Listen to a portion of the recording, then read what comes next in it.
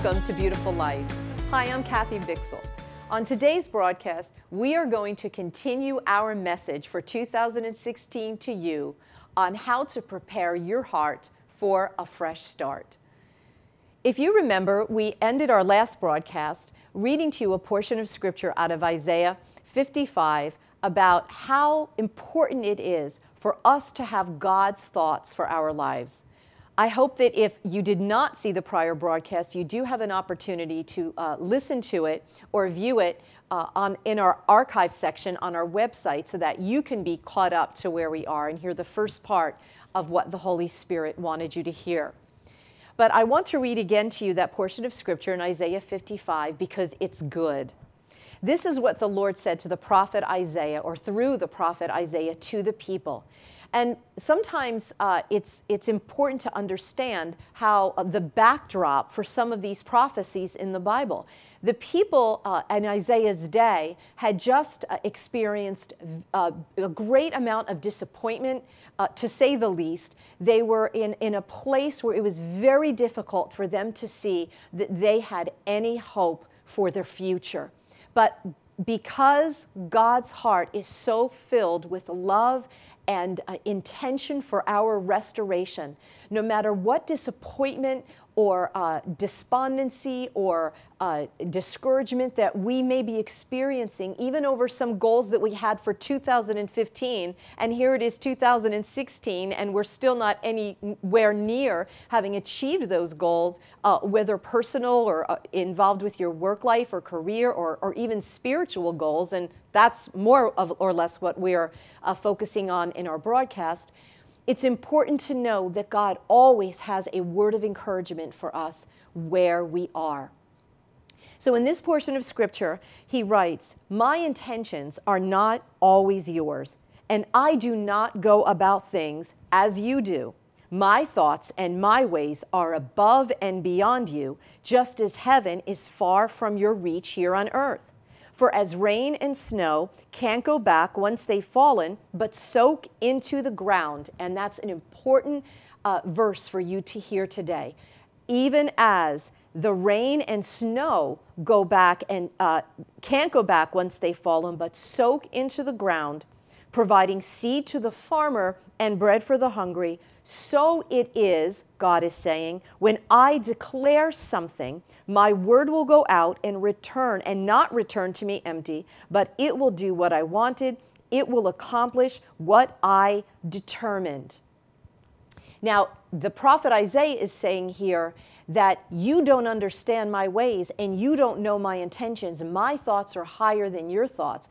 The advantage that we have as New Testament, New Covenant believers is we have the advantage of the scriptures that I read in the last broadcast out of 1 Corinthians chapter 2, where the Apostle Paul tells us that we can know the thoughts and the intentions of God's heart because we have the Holy Spirit. As sons and daughters of God, we are now temples of the Holy Spirit. The Spirit of the living God, who knows all the thoughts of God, now lives in us, and He wants us to hear with our spiritual ears the promises and the plans that God has so that we can have expectation and hope for our future.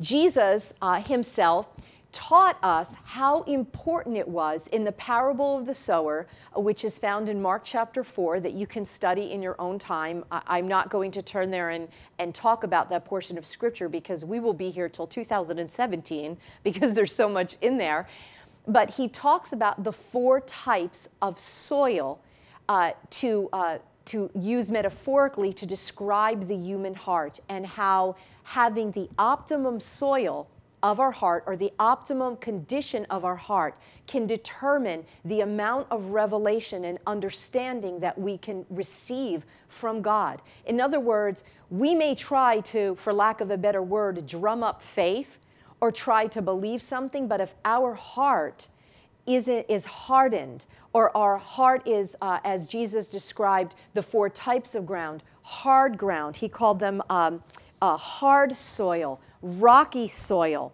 Uh, thorny soil, and then also a fourth type of soil, which was fruitful soil.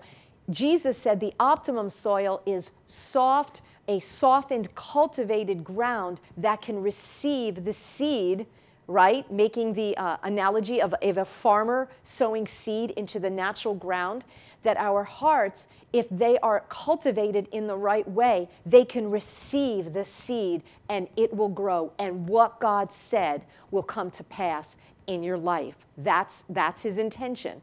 You know, it's possible as a, a Christian to have a hard heart. Will you say, How can I have a hard heart? Well, Jesus actually, two times in the scriptures, addressed his disciples about the hardness of their heart. One of the first times was in Mark chapter 8, where Jesus had just multiplied the loaves and the fishes and fed 4,000 people. And the next day, the uh, disciples are on a journey and realize that when they left, they forgot their bread. And they go into a panic because they forgot their bread. They had already they had already seen Jesus multiply sardines and rolls for uh, 4,000 people, but yet they were concerned of whether they were going to have bread, you know, on their journey. And Jesus said, "Did you have you already, you know, I'm paraphrasing, your hearts are so hard. The the impact of that miracle hasn't even gone deep enough clearly because, you know, they were fearful." And then the second, uh, the second time is in Mark chapter 16, where Jesus has appeared to his disciples after the resurrection and they don't believe him. And Jesus actually uses sterner language and rebukes them for the hardness of their hearts. Uh, the great uh, revivalist Charles Finney said that hardness, a hard heart, is a heart that cannot receive truth. And so we want to start the year off having hearts you know, that are ready to receive what God has said. I will be right back and we'll go deeper into this message on how God wants to cultivate that the ground of your heart to receive his promises. Throughout time, God has always reserved for himself a remnant, a people fully sold out to his message and willing to pay the price of radical discipleship. While the church and the world lie in crises, a message is sounding once again throughout the corridors of time that God can alter the course of history through a radical few. Consider Moses, the Apostle Paul, Daniel, Noah, Abraham, and Peter, just to name a few sold out radicals to God's calling. Don't settle for the confines of the ordinary when the Father has set his love on you to be extraordinary. Rise up out of the ashes of loss and disappointment and take hold of the one who makes all things new. Join us on an adventure of faith to experience Christianity the way it is supposed to be. Radical, the Radical Rising Remnant. The latest book from Kathy Bichsel. Get your copy now at kathybichsel.com.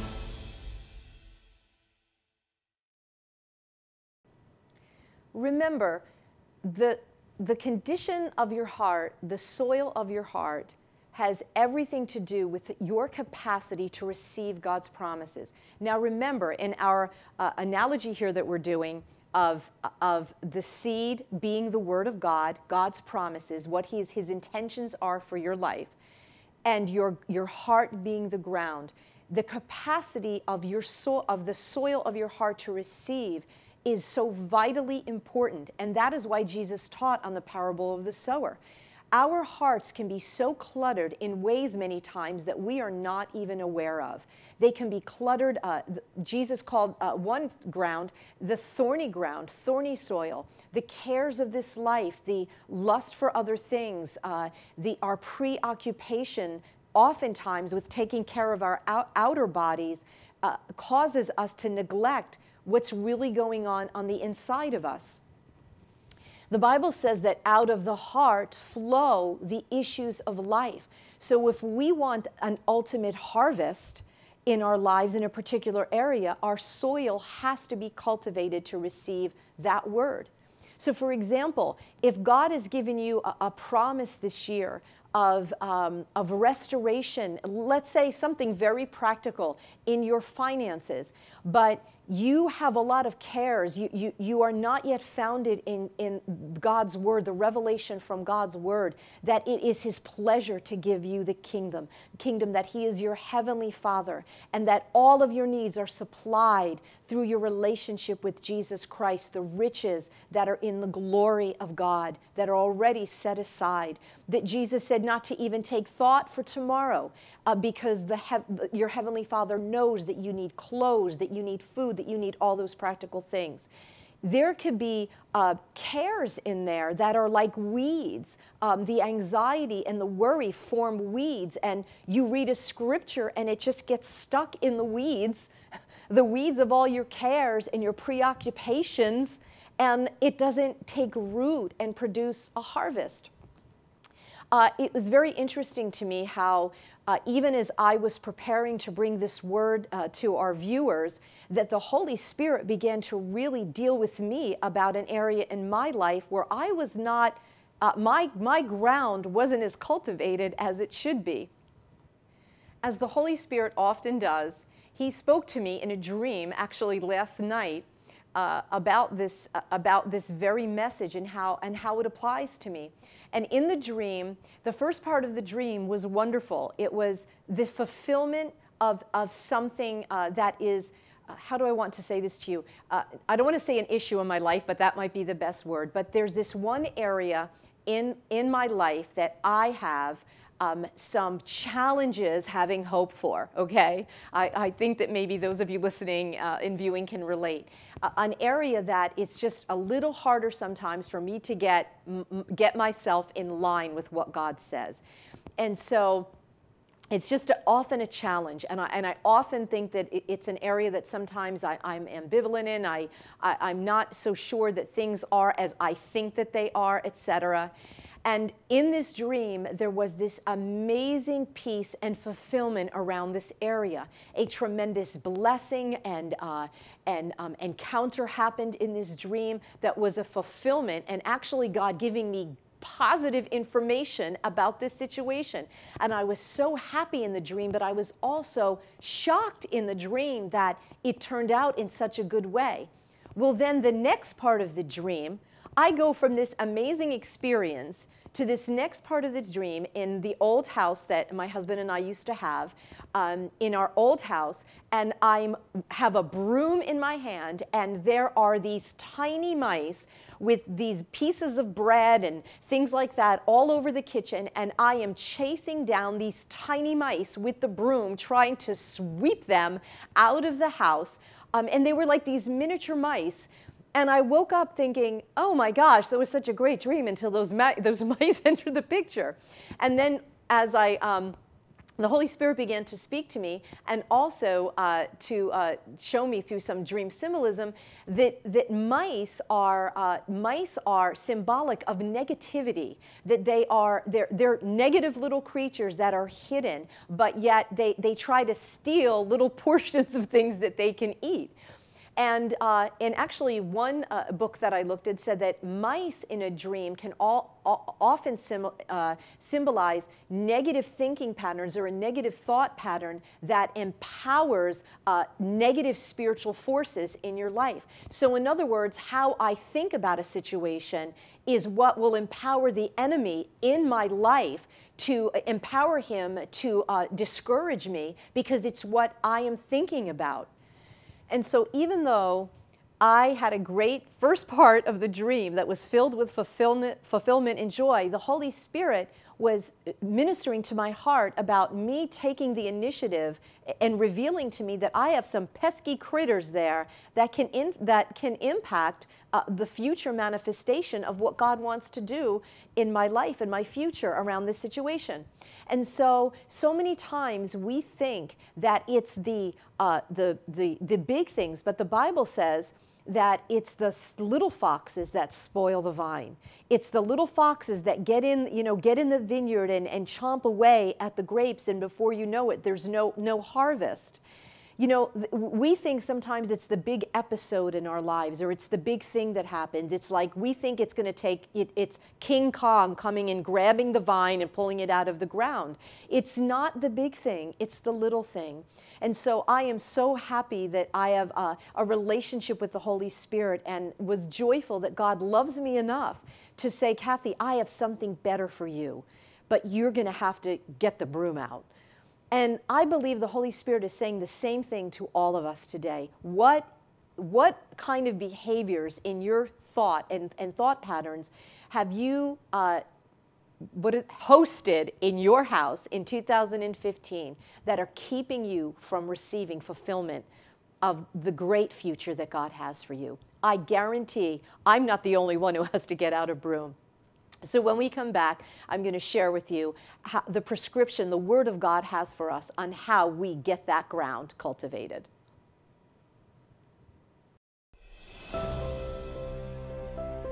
In this three part audio series, you will find scripture meditations for divine life, health, and wealth. As the scriptures are brought to life with the accompaniment of instrumental sounds, you will be encouraged by the power of God's spoken word. Meditations for Divine Life will set you free from that old life of sin, fear, addictions, and depression, releasing you into a life filled with righteousness, peace, and joy in the Holy Spirit. Meditations for Divine Health gives you a daily dose of God's medicine and fills you in on all your benefits. Meditations for Divine Wealth edifies you to be like the patriarch Isaac, who, while meditating, looked up and saw his camels coming, which was God's provision. This set will elevate your faith to the forefront in calling these areas in your life as though they are. Visit kathybichsel.com to purchase your choice of either a CD or an MP3 download.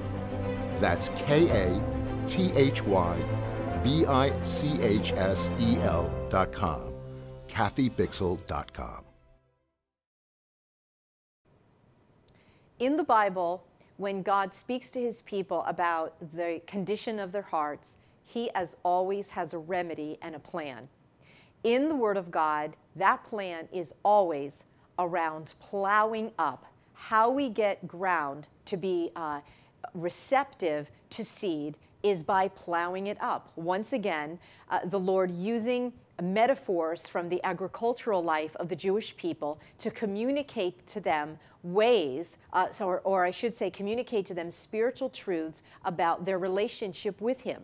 To have their hearts ready to receive the Word of God, they would need to plow their hearts, cultivate, turn over that soil so that it was ready to receive His promises.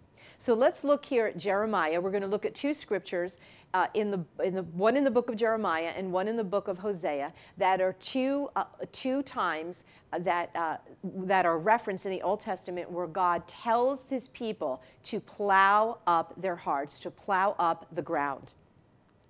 In Jeremiah chapter 4, uh, beginning in verse 1, he writes to them, Return to me and then in verse 3, he says, Break up your unplowed ground and do not sow among thorns. Circumcise your hearts. In Hosea chapter 10, verse 12, he writes, uh, the, the prophet Hosea writes the word of the Lord to the people in, that, in his day Sow righteousness for yourselves, reap the fruit of unfailing love, and break up your unplowed ground for it is time to seek the Lord until he comes and showers his righteousness on you. So the Holy Spirit eh, eh, eh, is telling us that uh, the way to get your heart ready for the, the seed, the promise of God concerning your life, is to plow up the ground of your heart. Now, in that first portion of Scripture, in Jeremiah. And if we don't get to all of this today uh, on this broadcast, we're going to do a, a, a, another broadcast so that we can finish, you know, finish it up because I want to make sure that you get the power of what the Holy Spirit is saying and what it means to plow up your ground. 2016, as we start the year to get a a, a, prepared heart for a fresh start, we need to get out our plow. We need to start to plow our heart.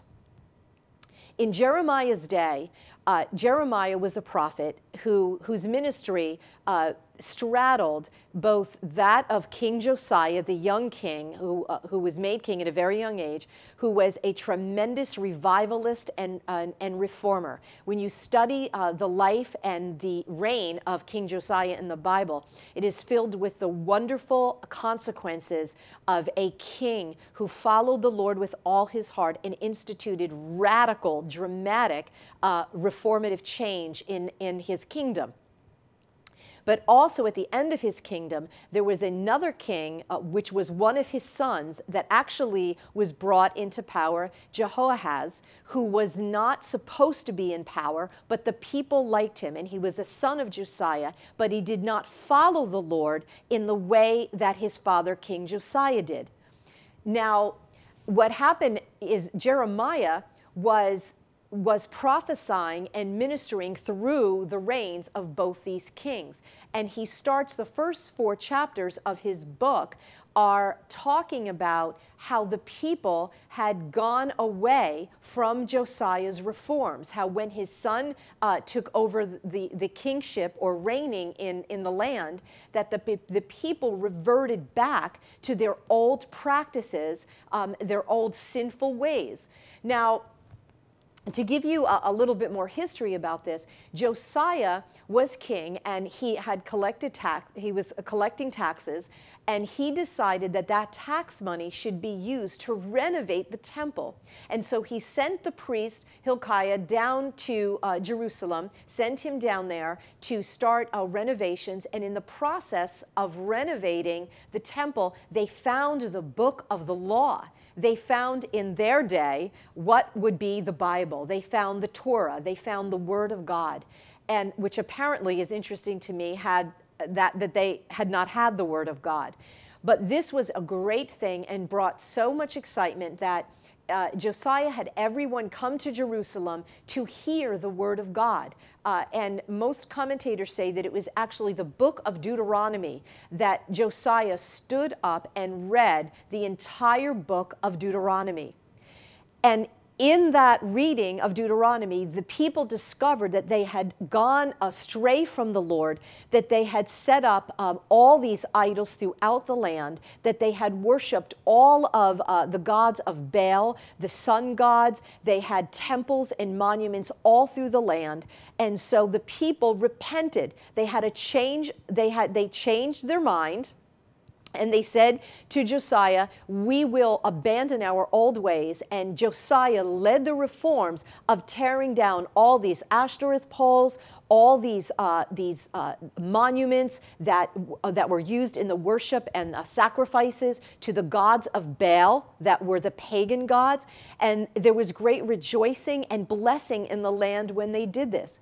But by the time his son comes to, comes to reign, things had completely changed and the people had reverted back to their old ways of worshiping Baal. And the lesson in this story that, that Jeremiah picks up on by the time you, you get to Jeremiah chapter 4 and the rest of his book is admonishing the people and prophesying to them about what the consequences of this abandonment of Jehovah is going to mean for their life, their land, their prosperity. And uh, he, he is prophesying to them about how they can change. Because what happened was they under Josiah, they made outward reforms, but they never changed their hearts. There was something going on in their hearts where they still felt that Baal could meet their needs. The god of Baal, the pagan god, the sun god, could meet their needs more than God, Jehovah, could meet their needs. That God would not keep his covenant, that they had impatience about their prosperity. So pretty soon, after the, the temples and everything and the, and the uh, altars were torn down, they were built up. And the, the, the lesson in that is that outward reformation and fixing up of the outside of you and even doing religious things if it is not an outflow of what the Holy Spirit is doing in your heart, is really an exercise in futility.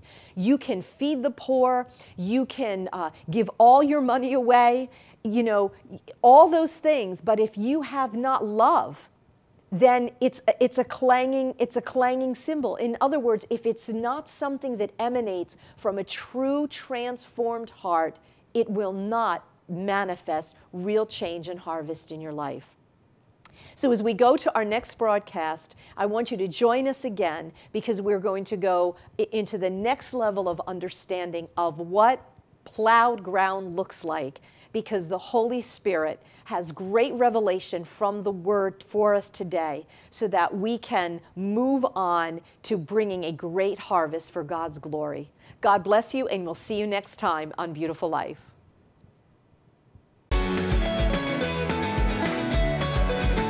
We trust you enjoyed this episode of Beautiful Life and the teaching ministry of Kathy Bichsel.